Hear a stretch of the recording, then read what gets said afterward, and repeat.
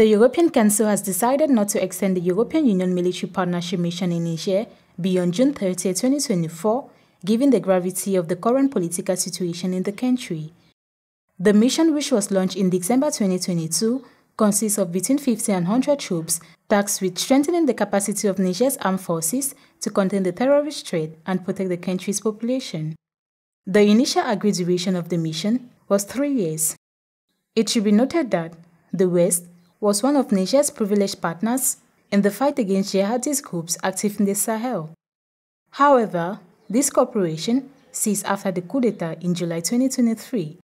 Niger follows in the footsteps of Mali and Burkina Faso, where successive military coups have overthrown civilian governments since 2020.